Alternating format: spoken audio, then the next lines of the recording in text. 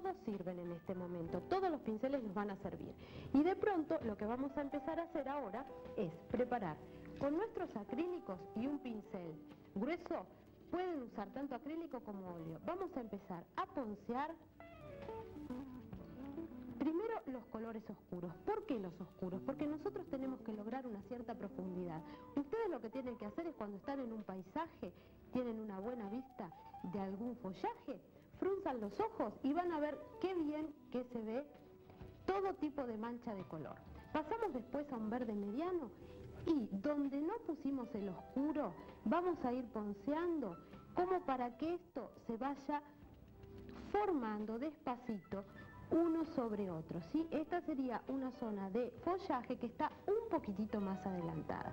Fíjense qué fácil, estoy usando un poquito de retardador de secado porque me interesa que se mezclen un poco entre sí y voy entremezclando diferentes tonos de verde. Si ustedes el arbusto de atrás lo hicieron en un verde azulado, es conveniente que el de adelante sea en un verde más cálido, o sea que utilicen más ocres. Entonces, paso ahora un poco de ocre blanco y el mismo verde y empiezo a dar sobre la zona que quiero dar luz un poco más de eh, verde claro. Entonces vamos agregando y fíjense que no es todo parejo, no es todo igual. Simplemente voy agregando colores cada vez más claritos para ir simulando la zona de luz.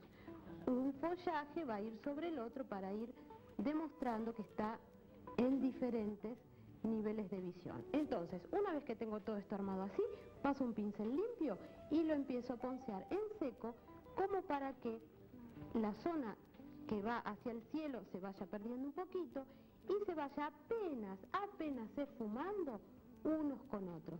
Nunca debemos perder ni la zona oscura ni las luces, porque esto si no quedaría todo muy, muy parejo. Siempre manteniendo esto.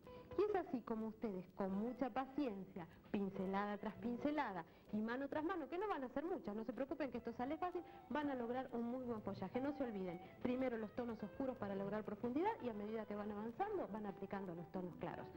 Esto es así y les va a quedar muy, muy bien. Muchas gracias.